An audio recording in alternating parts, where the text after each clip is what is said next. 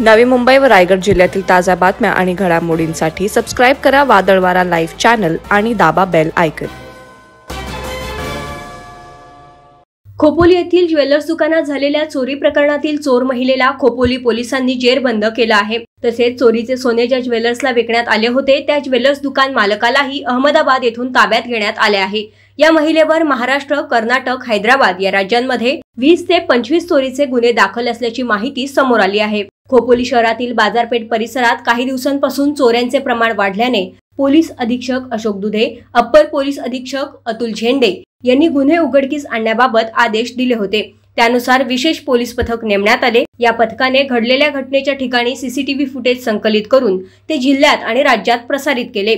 CCTV फुटेजमध्ये दिसणारी महिला चोर व तिच्या साथीदारांची ओळख पटवली. मिळालेल्या माहितीच्या आधारे या चोर महिलेला व तिच्या साथीदारांना पकडण्यासाठी राज्यातील पोलीस कसोशीनं प्रयत्न करत असताना रायगड पोलिसांनी तपासात बाजी मारली. या चोर महिलेला सातारा जिल्ह्यातून खोपोली पोलिसांनी ताब्यात घेतलं. चौकशीमध्ये तिने खोपोली येथील ज्वेलर्स दुकानात चोरी केल्याची कबुली दिली. त्याप्रमाणे खोपोली पोलीस ठाण्यात चोरीचा गुन्हा दाखल करण्यात आला. तसेच चोरलेल्या ऐवजाबाबत चौकशी केली असता सदरचा माल व इतर ठिकाणचा चोरून नेलेला माल तिने तिच्या साथीदारांच्या मदतीने गुजरातमधील अहमदाबाद येथील ज्वेलर्स दुकानदारास विक्री केल्याचे समोर आले.